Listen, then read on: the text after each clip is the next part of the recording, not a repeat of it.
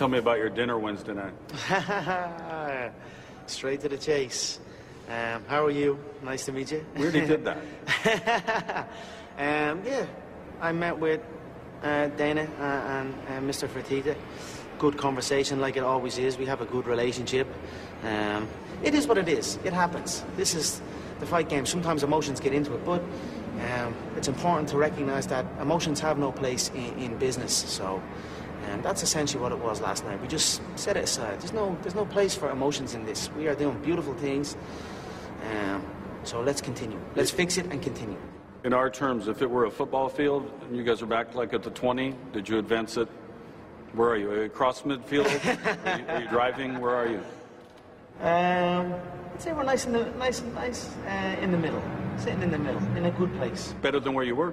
Yeah, of course, of course. See, there are no places.